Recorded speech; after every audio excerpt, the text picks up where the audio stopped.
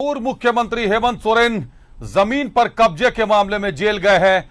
ED ने उन्हें jail भेजा है। ज़मीन के फर्जी कागजात बनाने के मामले सामने आ रहे हैं। गलत तरीके से ज़मीन पर कब्जा करने का मामला सामने आ रहा है। लेकिन साथ ही साथ जाँच एजेंसियों के रडार पर अभी झारखंड की राजधानी रांची के भी कई लोग शामिल हैं। उसी में से एक नाम अब विक्की जायसवाल का भी आ गया है। जिला प्रशासन ने विक्की जायसवाल को दरबदर करने की कार्रवाई शुरू की है।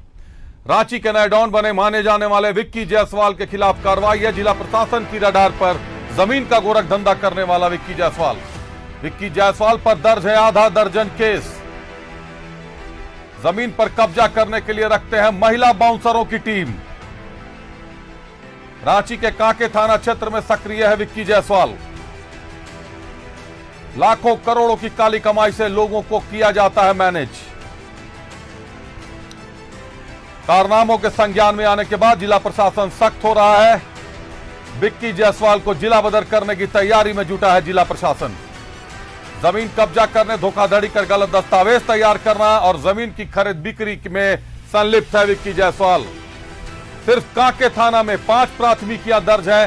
रांची के लोअर बाज़ार थाना में भी विक्की जायसवाल के खिलाफ चेक बाउंस का केस दर्ज है। विक्की जायसवाल, नया नाम है, राजधानी के लिए ज़मीन के सफ़ेद पोस्ट लोगों में एक गिनती होती है। कुछ दिनों पहले ही काके रोड में अवधेश सिंह पर गोली चली थी, जिसमें चितरंजन, मास्टरमाइंड चितरंजन अवधेश का ही पार्टनर था। चितरंजन समेत तेरह से ज़्यादा लोगों की गिरफ्तारी हुई है।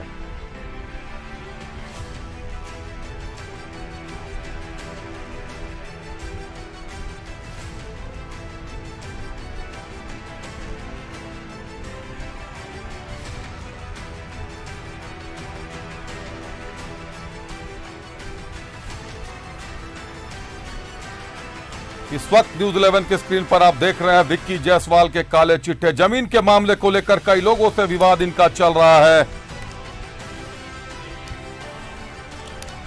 नूतन वर्मा, कमल सिंघानिया समेत कई बड़े लोगों के नाम सामने आ रहे हैं, जिनके साथ रिंग रोड पर ज़मीन के मामले को लेकर विवाद चल रहा है विक्की जायसवाल का। बताया जाता है कि विक्की जायसवाल के पीछे बड़े सफ़ेद पोष लोग हैं, बड़े व्यवसायी हैं जो फंडिंग का काम करते हैं विक्की जायसवाल के लिए।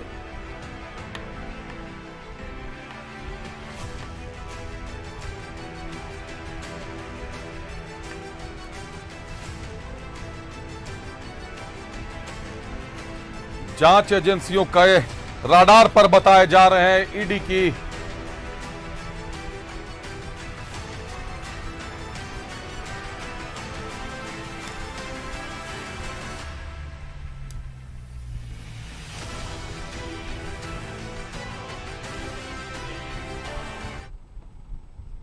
गंभीर मामला बन रहा है। कहीं ना कहीं विक्की जायसवाल के खिलाफ कई मामले दर्ज हैं।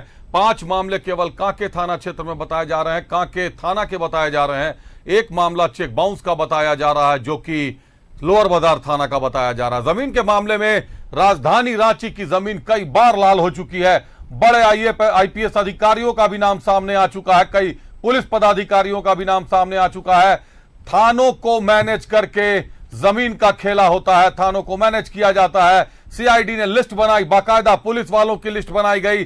जो पुलिस वाले ज़मीन के धंधे में लिप्त थे, लेकिन उस फ़ाइल को दबा दिया गया, वो फ़ाइल दोबारा वापस निकली ही नहीं, ऐसे भीतर खाने में फ़ाइल को डाला गया है। पुलिस को मैनेज करके सारा खेल बेहिचक, बेधड़क खेला जाता है।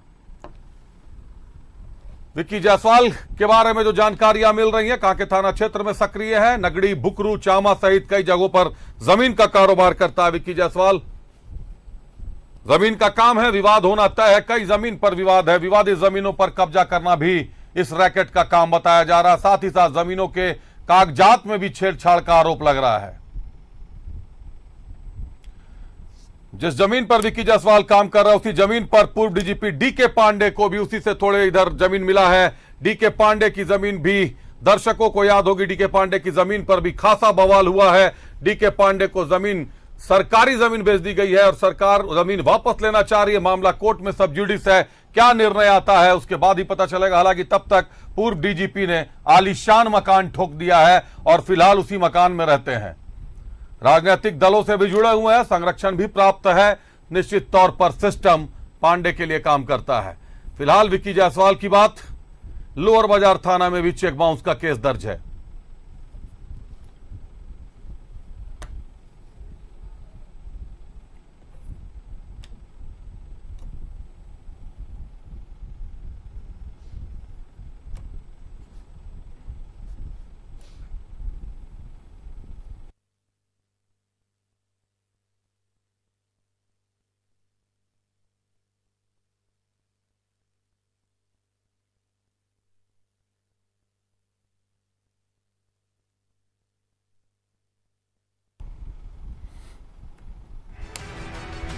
झारखंड में ज़मीन के कारोबारियों का नाम सुर्खियों में चल रहा है।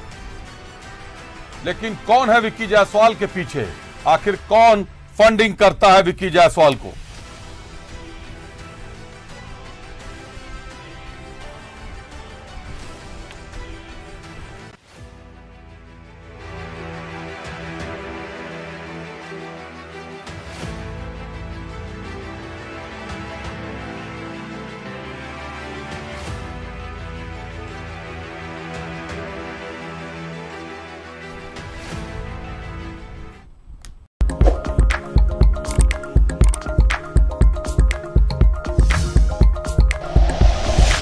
Like and share videos, subscribe करें हमारा चैनल और प्रेस करें बेल आइकॉन न्यूज़ 11 भारत सच है तो दिखेगा।